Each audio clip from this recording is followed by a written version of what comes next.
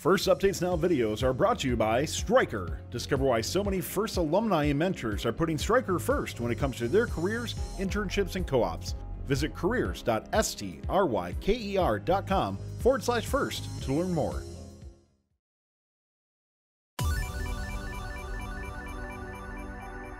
Hey, I'm Ben. I'm here with First Capital Ri3D, and I'm going to talk to you about the pneumatic system that we just put in place on our robot. So the core of our pneumatic system that we use here, we have the Thomas 215 compressor.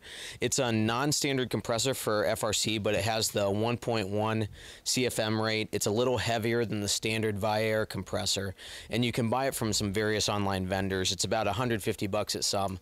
Some occasionally you can find them for 50 bucks on eBay. It really kind of runs the gamut there but it's a really useful compressor to use. We first found it when we were uh, saw that 254 used it in 2014.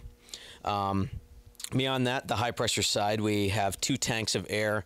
All the cylinders on our robot are three quarter bore or less, so we're not using a lot of air on this robot. So we have two tanks of air that's more than enough storage for what we need to accomplish here. We have four different actuations on this robot.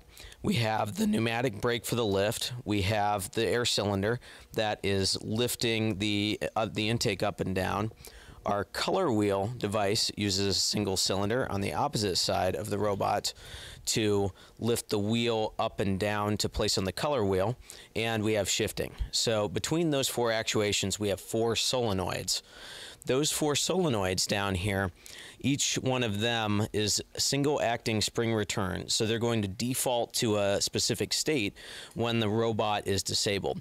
That's useful for us in this case because it uses up less pneumatic control module ports. We only use four of the eight instead of two of the ports if we were using a double acting solenoid.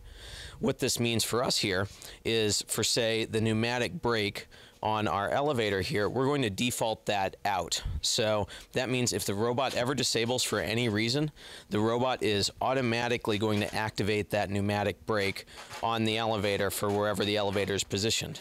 It's going to be very useful for keeping our robot in position after we have finished hanging.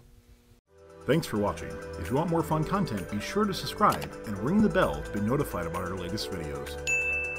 You can also directly help support Fun by visiting our Patreon at patreon.com forward slash first updates now or by subscribing at twitch.tv forward slash first updates now.